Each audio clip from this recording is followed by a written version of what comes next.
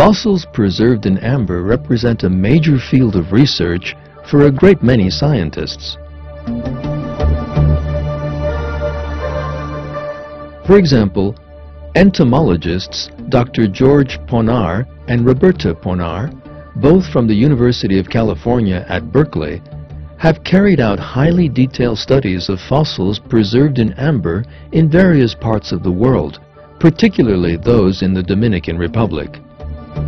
For their book, The Amber Forest, they brought together hundreds of fossils aged between 45 and 15 million years. Fossilized specimens of many living things trapped in the act of carrying food back to the nest, in a state of defense, attempting to camouflage themselves, or defend their young, or releasing chemical substances in order to neutralize predators, have all been preserved and now displayed in amber.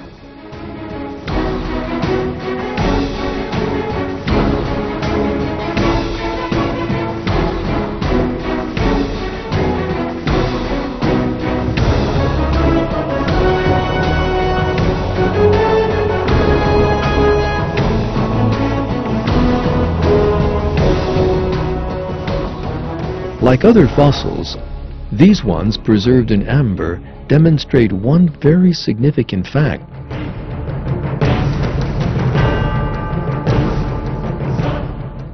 Living things have remained unchanged for millions of years. In other words, they never underwent evolution.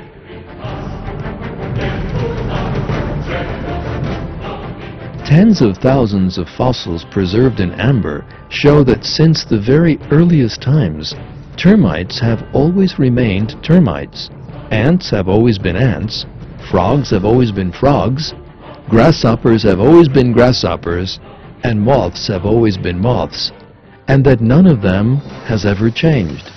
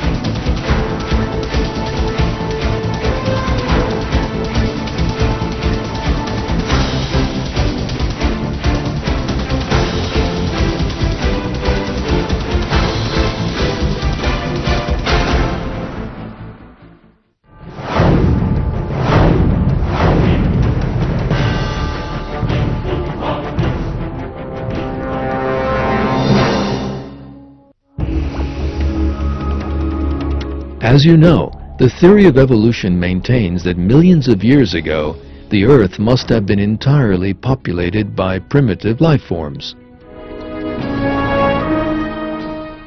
Yet fossils tell us the exact opposite.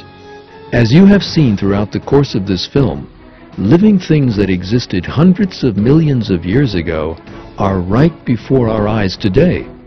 And contrary to what evolutionists claim, they are not primitive at all.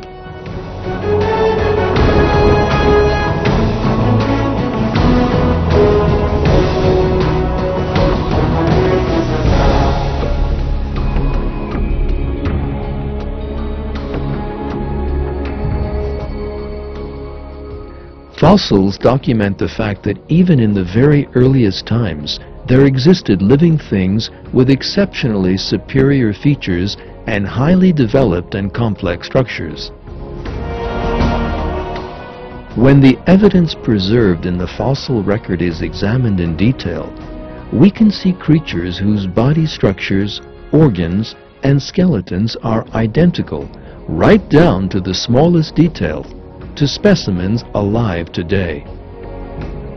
This fact, of course, completely undermines all the myths and scenarios suggested by the theory of evolution.